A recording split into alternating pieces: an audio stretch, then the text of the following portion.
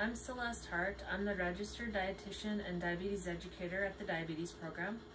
Um, I just wanted to go through some information for nutrition, or not nutrition month, um, diabetes month. Um, November is diabetes month and we'd like you to come in and um, meet with us sometime this year. Um, every time you meet with me, you'll get a cookbook. Um, this is one of them that we use, the plate method meal and then create your plate. And we have more, so every time it's recommended that you see the dietitian and the nurse educator every year. So um, please schedule a time to meet us. You can call in um, 627-7931. But one of the things I wanted to go over with you is the plate method of meal planning. And this is a very good way of meal planning. And um, it's just taking your nine inch plate and dividing it down the middle and filling it with vegetables. Um, so the vegetables are very low in calorie, um, low in carbohydrate, and high in water and fiber. So they really fill you up and they do not raise your blood sugar. So any kind of vegetables is really good. Um, fresh is great. Salads are great. Uh, you can also use the frozen vegetables because they're frozen when they have the most nutrients. Even canned are good. You can rinse them off in a colander and that takes off 40% of the salt. So just try to load up on the vegetables. Um, another thing, part of it is the leaner meat. So this part is like a pork chop. So um, beef and pork, the leanest cuts of beef and pork are loin and round. And you can also get lean ground beef or you can use ground turkey. Um, and then um, and then one fourth of your plate is the starchy thing. So um, the recommendation for that is like a fist. So like a fist, and that's like a cup. It's recommended that you have the whole grains in the starchy section.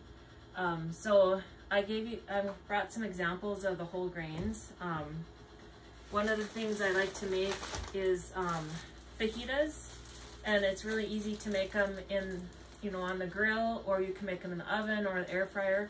And um, these um, carb balance whole grain tortillas are really good and um, they hold up better, better than the other tortillas. They don't fall apart.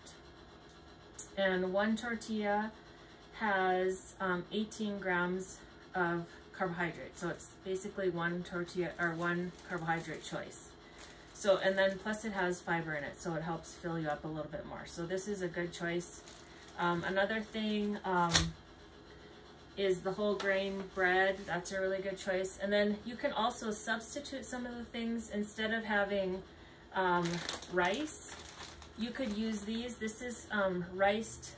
This is um, cauliflower that's um, riced, and they're using it to have um, cauliflower risotto medley. And I've seen some that are um, fried rice and they use the cauliflower. So instead of having the rice, which has a lot of carbohydrates, they're using the cauliflower, which doesn't have very many at all. Another thing you can do is um, use like um, the zoodles. So this is a meal that has the zoodles. And so it's like um, taking a vegetable and then making it into spirals with a machine, or you can even buy them um, in the store. So this is um, carrots that are made into spirals, so you can use those instead of spaghetti. Um, and then this is a frozen dinner that has the zoodles on the bottom, so it's zucchini made into the spirals. And so instead of using spaghetti, which has carbohydrates, you're using the vegetable. And so it's a good way to sneak in some vegetables and cut down on the carbohydrates. And then here's another meal. Um, these are pretty good to take to work. These are the power bowls. And then this is also using the um, cauliflower that is riced instead of having um, rice in it.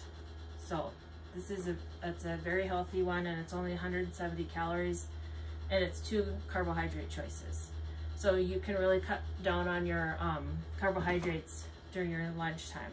So here's um, a spaghetti squash. And so I washed it and cut it in half and then um, took all the seeds out and I put a little olive oil on it and salt and pepper and put it in an oven at 400 degrees for 40 minutes.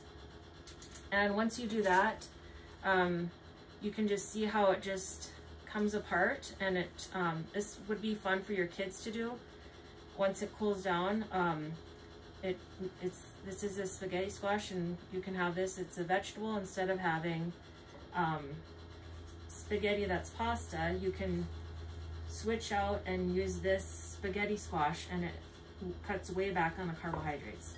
So then you can just um, put it in a bowl and you can add some ground turkey or um, lean hamburger and you can add maybe some spaghetti um, spaghetti sauce or pizza sauce and a little bit of cheese and it makes into a good healthy meal or you can use put some um, diced tomatoes in it um, one other thing I was going to mention is the Mrs. Dash is um, lower in sodium and so this has um, DASH stands for Dietary Approaches for Stopping Hypertension. And this is the um, salt-free pot roast. So you can make your pot roast and um, have it without any sodium. It's just natural herbs. And then they also have one for beef stew, taco seasoning, chili seasoning, sloppy joe, and meatloaf and they have um, probably 20 or more uh, um, the seasonings like this and this is tomato basil garlic. So you could add this to your spaghetti squash with your um, pizza sauce and a little cheese and it would taste delicious. So um, another thing instead of having the um, like tater tots you, you could also get these. These are broccoli and, and cheese um, and they're made into a shape of a tor uh, of a tot. So broccoli tots is what they're called. And so this would be um, good with like some chicken nuggets or something, and you're sneaking some vegetables in for your kids and your the rest of your family. And it, they taste really good. Or another version, um, you can also do, instead of having the white um, fries, you can do the sweet potato fries. And there's another, this is, um, this is a cauliflower crust and it just has um, tomatoes and um, cheese on it. So I haven't tried this yet, but it looks pretty good. So there's a lot of ways you can cut back on your carbohydrates. Um, I always recommend the first thing if you have diabetes is stopping sugary drinks. So it's a good thing to bring your water bottle to work and drink that throughout the day.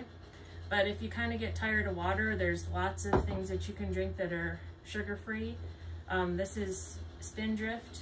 Um, it just has a little bit of natural fruit in it and it's 10 calories and very low in carbohydrates. So this is a, a healthy drink if you're sick of water, has a little carbonation in it and a little uh, flavoring from a real fruit. It doesn't have any artificial sweeteners. And then um, there's also, you can drink unsweetened tea or this one has some artificial sweeteners and um, this is the diet um, berry tea. So there's a lot of things you can drink. It's best not to drink um, sugary drinks. Um, that's the first step in diabetes meal planning is cut out the sugary drinks and then try to add some more carbohydrates, lean meats. But if you're interested in setting up an appointment, you can give us a call at the diabetes program. Um, our phone number is 627-7931. Thank you and have a good diabetes month.